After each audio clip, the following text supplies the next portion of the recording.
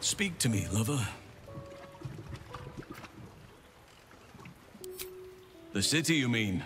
With all its noise, smoke, stone, and bustle? I would not be here given the choice, but I promised you my support. And that is what you shall have. Still, though, this place crawls with life, but little of it flourishes. I see refugees unhoused, the destitute unwanted, orphans unloved.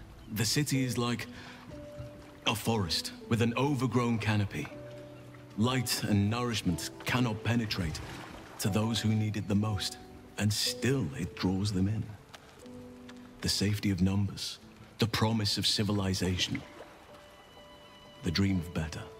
All that potential is too often destined to die in the dark and rot in the gutter. I wish.